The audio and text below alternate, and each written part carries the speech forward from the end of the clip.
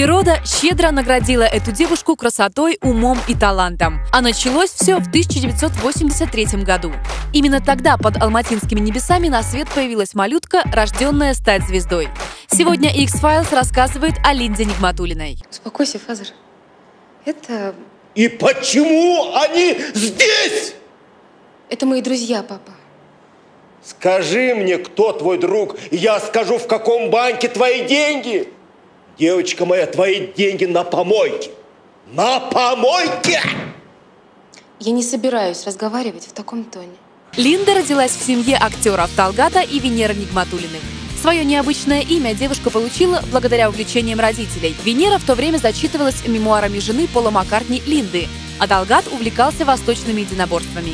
Изучал технику знаменитого Брюса Ли, жену которого также звали Линдой. Кинодебют «Звездной дочери» состоялся в возрасте 4 лет. Тогда малышка исполнила роль в картине «Зять из провинции». Хотя сама актриса не раз в шутку заявляла, что самую первую роль сыграла эмбрионом. Речь идет о фильме «Волчья яма», когда Венера Нигматулина была беременна Линдой. Нет, ну скрывать нам, естественно, нечего. Ну, вы понимаете, там три уровня пароля. А вы их снимите. Желательно при мне. Спасибо, что только пароли. В подростковом возрасте она была настоящей хулиганкой. Частенько прогуливала школу, дралась с одноклассницами, а однажды сожгла классный журнал. Несмотря на репутацию отчаянной разбойницы, в детстве Линда занималась художественным плаванием и карате, посещала музыкальную школу, по окончании которой поступила в Казахскую национальную академию искусств имени Жургенова. Алан? Это не Алан, это Гринев. Олег? Олег, погоди. Это Алан приказал тебе убрать Марка? Никто мне не приказывал. А откуда ты знаешь?